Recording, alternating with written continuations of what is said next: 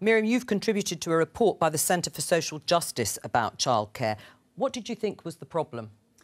Well, it's a landmark report because it's actually asking parents what they want out of the childcare budget, the subsidy that, that government puts towards childcare every year, which totals about £4 billion across um, all the different schemes.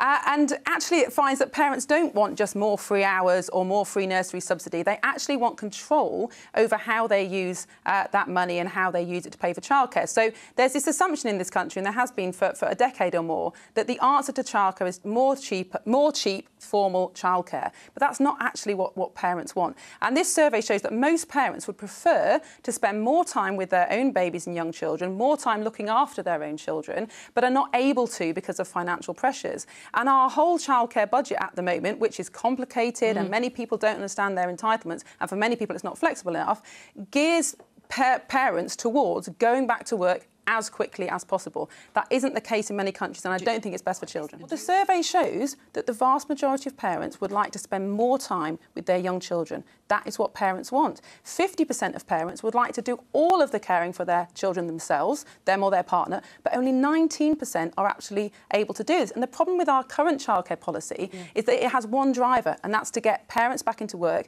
and increase the GDP. But that's not what families want, and it's not what's best for children. So the proposal is to amalgamate all this money that's spent on childcare and give parents this kind of family credit, this ability to choose where that money goes. Yes, to use it on formal childcare if that's what's best for the family, to use it on on family childcare, informal childcare, to stay at home yourself. It's about choice.